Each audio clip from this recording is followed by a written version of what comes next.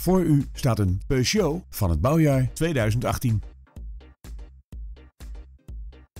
De aandrijving van deze Peugeot wordt verzorgd door een driecilinder benzinemotor en een handgeschakelde vijfversnellingsbak. Het interieur biedt aan vijf personen een zitplaats. Het comfort wordt onder meer benadrukt door een glazen panoramadak, een navigatiesysteem en een multifunctioneel lederen stuur. Op de uitgebreide lijst van accessoires vinden we ook een trekhaak en lichtmetalen velgen.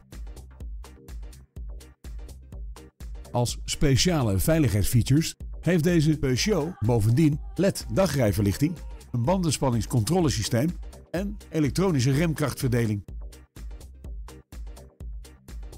Tevens wordt deze auto geleverd met Nationale Autopas. Wilt u een proefrit met deze Peugeot? Bel ons dan nu voor een afspraak.